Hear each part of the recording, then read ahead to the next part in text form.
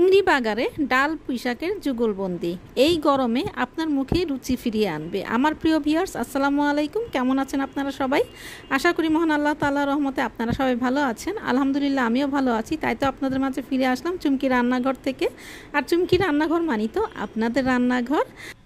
চলেন, আমার প্রিয় ভিউয়ার্স আমি খুব সহজে এই চিংড়ি বাগারে ডাল আর পুঁইশাকের এই সহজ রেসিপিটা কীভাবে তৈরি করেছি, সেটা আপনাদের সাথে শেয়ার করি। আর এটা কিন্তু আমার মায়ের হাতের রেসিপি তো এখানে দেখতে পাচ্ছেন এক কাপ মানে এক কাপ আমি এখানে ডাল নিয়েছি, আধা কাপ মুসুরির ডাল আর আধা কাপ নিয়েছি মুগ ডাল। তো মুসুরির ডালটা কিন্তু শুধু নেওয়া যায়, কিন্তু অনেকের গ্যাস্ট্রিকের সমস্যার জন্যই আমি যেটা করেছি সেটা মুগ ডালটা আমি এর সাথে অ্যাড করে নিয়েছি মানে আধা কাপ আধা কাপ করে মোট এক কাপ আমি এখানে ডাল নিয়েছি। আর এটাকে আমি এক ঘণ্টা ধরে ভিজিয়ে রেখেছি, ভিজিয়ে রাখার পরে খুব ভালো করে ধুয়ে নিয়েছি। আর দেখেন পানিটা কত ক্লিন তারপরে আমি যেটা করব, সেটা আমি এখন চুলায় দিয়ে দিচ্ছি। চুলা দিয়ে দেওয়ার পরে একটু পানি দিয়ে দিব।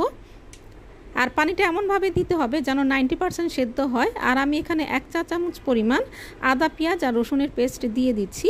মশলার পরিমাণ কিন্তু খুবই কম। দিয়ে দিচ্ছি হলুদের গুঁড়া আর দিয়ে দিচ্ছি পরিমাণ মতো লবণ। তারপরে খুব ভালো করে এটাকে নেড়ে চেড়ে দিচ্ছি।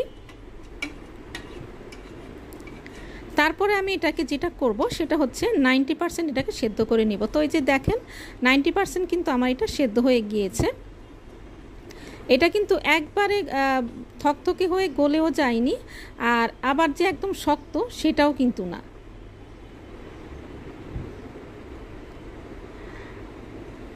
তো এবারে আমি যেটা করব, এখন আমি যে পুঁইশাকগুলো আমি এখানে নিয়েছি প্রায় এক কেজি পরিমাণ পুঁইশাক মানে এক আটিতে যতটুকু থাকে আর কি ততটুকু।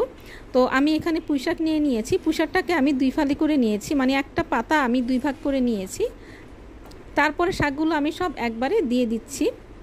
দিয়ে দেওয়ার পরে খুব ভালো করে নেড়ে চেড়ে দিতে হবে। তারপরে আমি ঢাকা দিয়ে প্রায় পাঁচ মিনিটের মতো এটাকে মিডিয়াম হিটে জাল করেছি। তো জাল করার পরে দেখতে পাচ্ছেন পাতাটাও কমে গিয়েছে আর ডালটাও প্রায় মিশে গিয়েছে শাকের সাথে। তারপরে এটাকে আমি খুব ভালো করে নেড়ে চেড়ে দিচ্ছি। নেড়ে চেড়ে দেওয়ার পরে আবার এটাকে আমি ঢাকা দিয়ে দিব সেদ্ধ হওয়া পর্যন্ত। তো ওই দেখেন শাক আর ডালটা কিন্তু আমার একেবারে যুগলবন্দি যাকে বলে ঠিক সেরকম হয়ে গিয়েছে আর একদম মিলেমিশে হয়ে গিয়েছে আর দেখতেই পাচ্ছেন আর শাকের কালারটাও কিন্তু একদমই সবুজ আছে। কালারটা কিন্তু একদমই চেঞ্জ হয়নি। তো এবার আমার বাগার দেওয়ার পালা। এবার আমি একটা হাঁড়ি নিয়ে নিয়েছি। দিয়ে দিচ্ছি তেল। এবারে এখানে আমি দিয়ে দিব রসুন কুচানো। এখানে কিন্তু আমি পেঁয়াজ দিচ্ছি না। এখানে আমি রসুন কুচানো দিচ্ছি পরিমাণ মতো। তারপরে আমার ফ্রোজেন করা চিংড়ি মাছ ছিল, সেটা আমি দিয়ে দিচ্ছি। আপনারা যে কোনো ছোট বড় চিংড়ি মাছ আপনাদের পছন্দ মতো যেটা থাকবে সেটাই দিয়ে দিবেন। তারপরে আমি খুব ভালো করে একটু ব্রাউন করে ভেজে নিয়ে তারপরে আমার যে সেদ্ধ করা শাকটা ছিল সেটা ঢেলে দিয়েছি।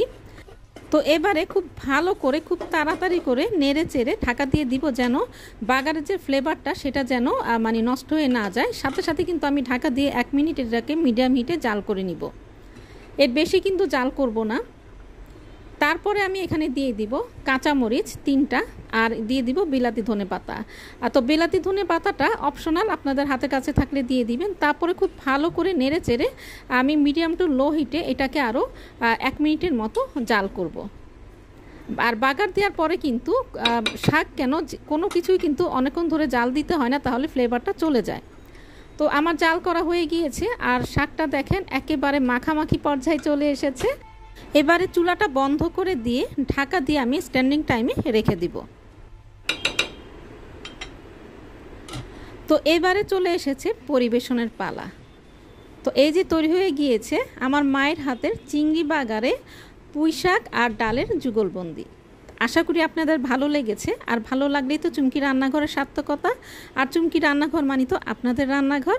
তো মনের মাধুরী মিশিয়ে রান্না করবেন, নিজে খাবেন, প্রিয়জনকে খাওয়াবেন। আর সবাই এই গরমে বেশি বেশি করে এই রেসিপিটা তৈরি করবেন। সবাই ভালো থাকবেন, সুস্থ থাকবেন। আল্লাহ হাফেজ।